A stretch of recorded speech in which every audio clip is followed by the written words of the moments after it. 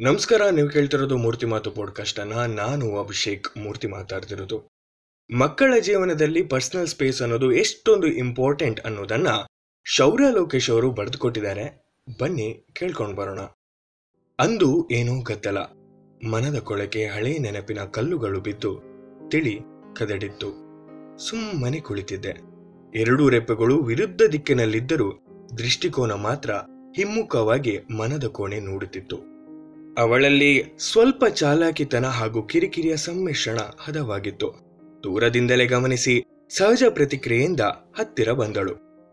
ನನ್ನೊಳಗಿನ ಜಟಾಪಟಿಗಳು ನಿರಂತರವಾಗಿತ್ತು.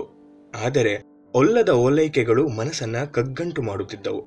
ನಿಂತ ನೀರು ತಾನಾಗೆ ತಿಳಿಗೊಳ್ಳಲು ಬಿಡಬೇಕು. ಅದನ್ನು ರಾಡಿಸಿ ಸಹಾಯದ ನಿಟ್ಟಿನಲ್ಲಿ ಕೆಸರುಗೊಳಿಸಬಾರದು.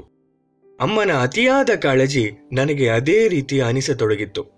ನನ್ನ ಮೌನ ನೋಡಿ ಏನೋ ನಿನ್ ಹುಡುಗಿ ಕೈ ಕೊಟ್ಲಾ ಎಂದು ಟೀಕಿಸಿದ್ಲು. ಅದು ಭಾಗಶಃ ನಿಜವೆಂದು ಅವಳರಿವು.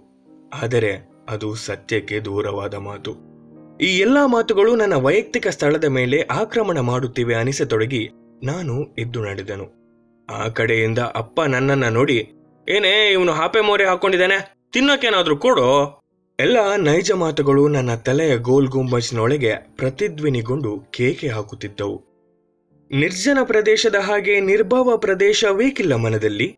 ಎಲ್ಲ ಸ್ಥಳವನ್ನ ಒಂದಲ್ಲ ಒಂದು ಯೋಚನೆ, ಯಾತನೆ ಆಕ್ರಮಿಸಿದೆ. ಇದರ ಮಧ್ಯದಲ್ಲಿ ಅಪ್ಪ ಅಮ್ಮನ ನಯವಾದ ಮಾತುಗಳು ಕಿರಿಕಿರಿಯಾಗಿ ಮಾರ್ಪಾಡುಗೊಳ್ಳುತ್ತಿವೆ.